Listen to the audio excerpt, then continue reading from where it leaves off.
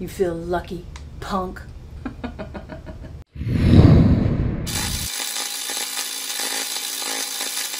In an effort to try to alleviate some of the COVID 19 tedium, we have been doing a little bit of a renovation on our daughter's rooms. Actually, it's not really so much of a renovation as it is a fresh coat of paint and uh, a little bit of light redecorating. But my youngest daughter has this compound bow, which was a gift from yours truly for her birthday and uh, it needs a home in her room. So it's not just laying around on the floor along with the arrows and the little accessories that go with it. So I am going to attempt to make her a rack to hang all of this stuff up on her wall using stuff that I just have laying around here in my workshop. So wish me luck.